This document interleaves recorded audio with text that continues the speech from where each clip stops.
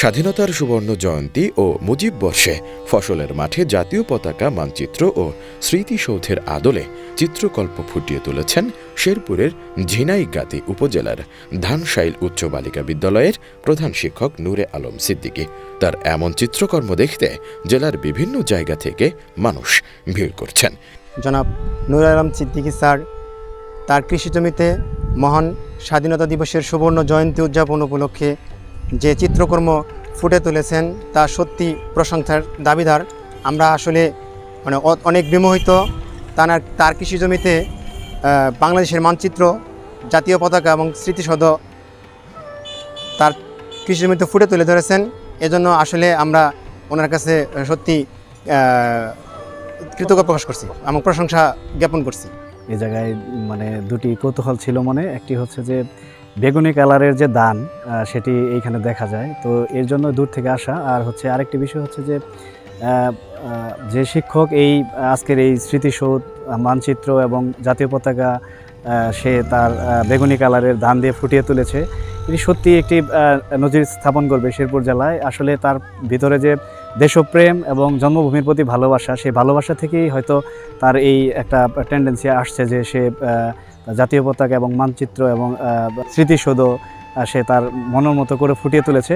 আমাদের নুরে আলম স্যার সিদ্দিকি জাতীয় পতাকা আর্ট করছে এবং মানচিত্র আর্ট করছে আর জাতীয় পতাকা এর আগে দু হাজার একুশ সালে এক খণ্ড জমিতে প্রথমবারের মতো জাতীয় পতাকার আদলে বেগুনি রঙের ধান চাষ করে আলোচনায় আসেন শিক্ষক নূরে আলম সিদ্দিকী। বাংলাদেশের মুক্তিযুদ্ধ, বাংলাদেশের স্বাধীনতা, এটা কোনো সাধারণ ঘটনা নয়।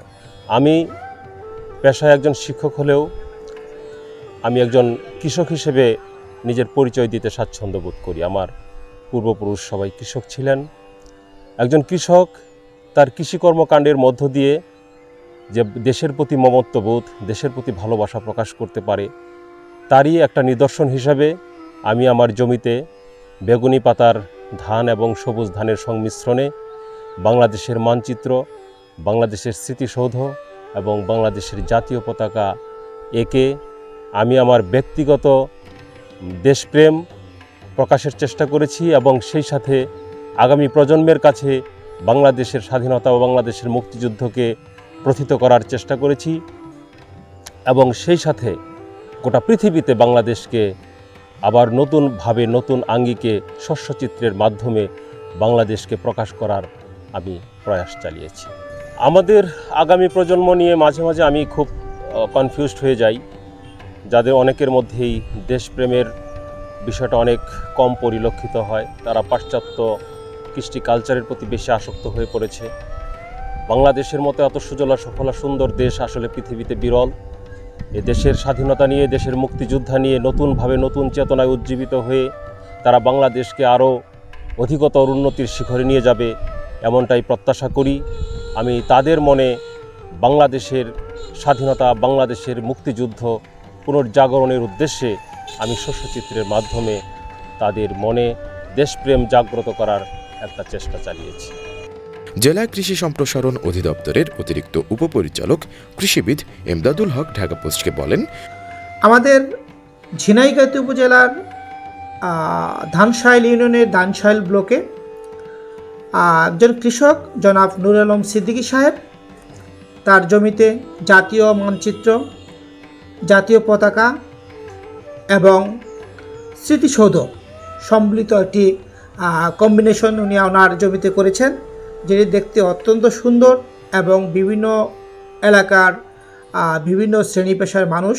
এটি দেখার জন্য ওই ধানশাল ইউনিয়নের ধানশাল ব্লকে নুরুল আলম সিদ্দিক সাহেবের জমিতে আগমন করছেন এবং সবাই এটাকে প্রশংসা জুগিয়েছেন সেই সাথে এটি একটি দেশপ্রেমের বহিঃপ্রকাশ বলে আমরা মনে করি। আমাদের কৃষি সম্প্রসারণ দপ্তর শেরপুর জেলার সুযোগ্য উপপরিচালক ডক্টর মোহিত কুমার দে স্যার এবং উপজেলা কৃষি অফিসার জনাব হুমায়ুন কবির যৌথ উদ্যোগে এবং আমাদের সম্মানিত কৃষক জনাব আলম সিদ্দিক সাহেব এই কাজটি করেছেন। এটি একটা অনন্য দেশপ্রেমের উদাহরণ বলে আমি মনে করি।